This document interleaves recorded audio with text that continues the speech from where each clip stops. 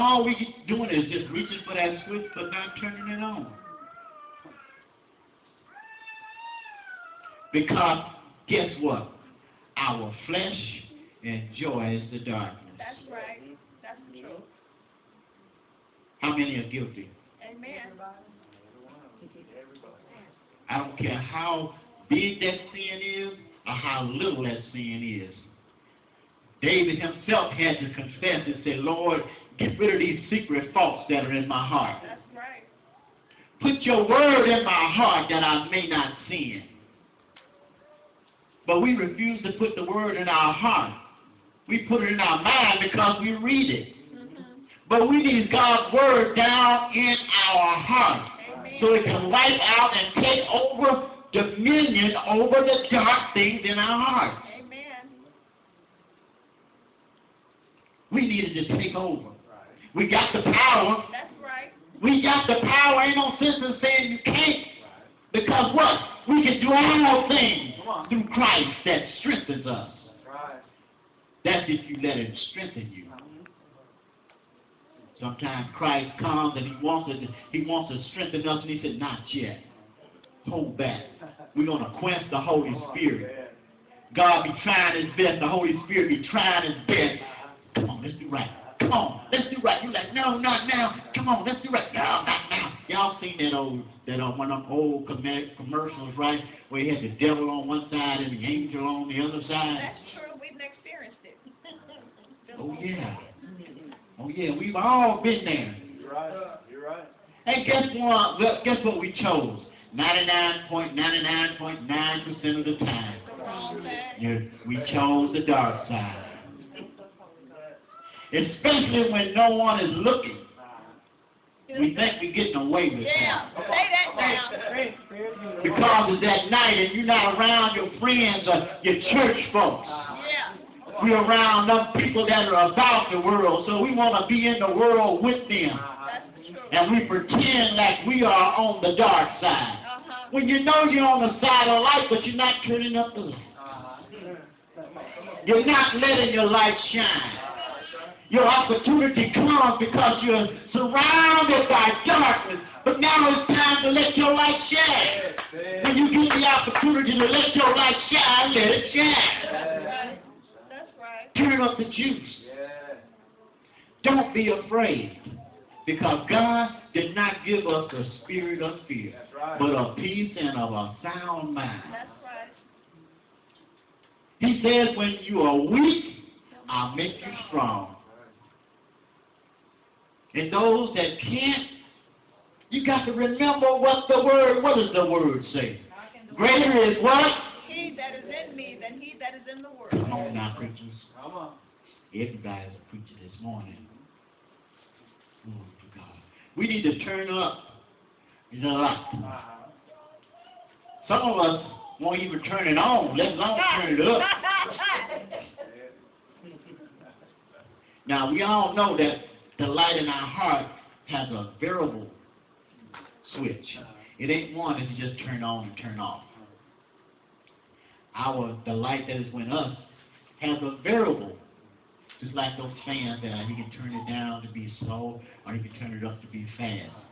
So it's up to us what level we turn that light up to to get rid of the darkness.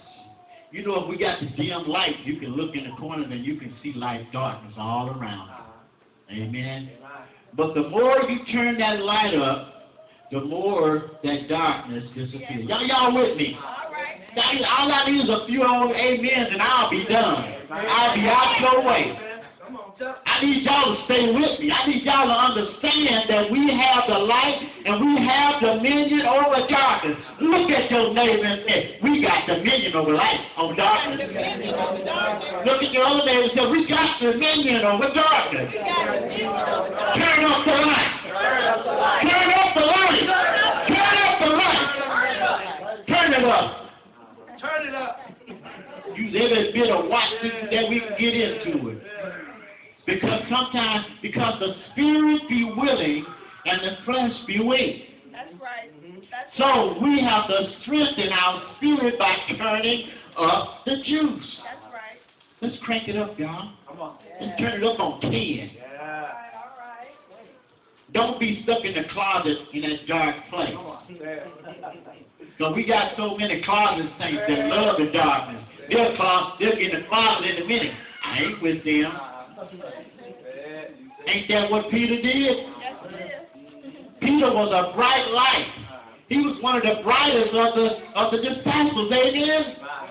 He even told he told Jesus, "I'll be with you, even unto the end, unto the death. I'm gonna stick with you." Uh-huh, what'd he do? But Jesus said, "I pray for you, Uh, come on. Come because on. Satan is, is desire to sift you as wheat." That's right. And before the day is through, before the cock crows three times, you're gonna deny me. He went to where they had took Jesus. One that knew and say, Aren't you one of them?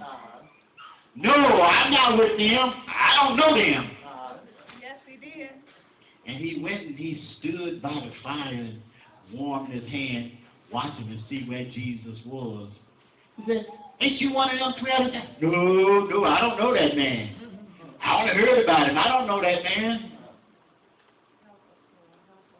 And then he came and stood at the door where Jesus was. Mm-hmm. and another person that knew it. You were one of those twelve that was that that's been going around preaching in Jesus' name. No, not me. Not me. I wasn't one of them. Got your people mixed up. Hey man, thank you. You got the wrong guy. I'm not one of them. And that's the way we do from day to day. You may not say amen, but we know it for a fact that it's true. Yes, it is. I don't care how much spirituality you got. I don't care how much anointing that you got. From time to time, we don't act like Christians. That's We don't act like we got no light in us at all. We go right along and compromise ourselves and go right along with the darkness. That's the truth.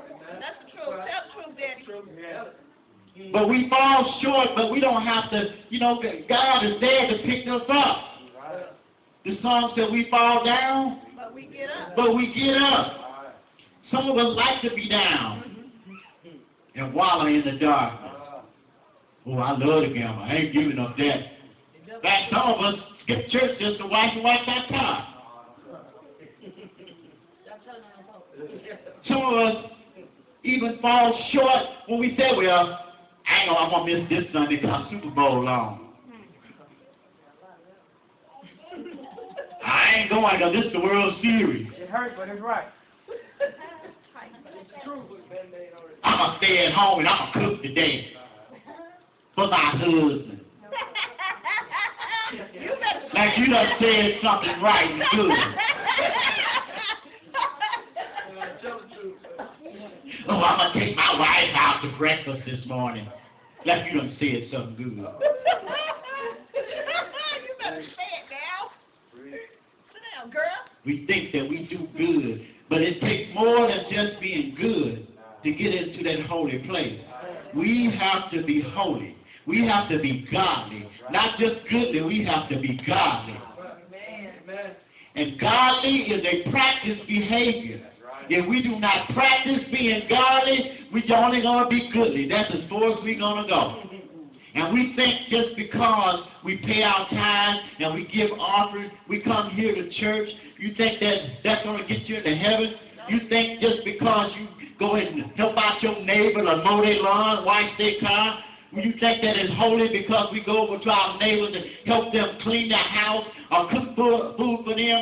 You think it's holy because we go to the go to the hospital to pray for I mean to be with somebody in their time of need? That's reasonable, sir.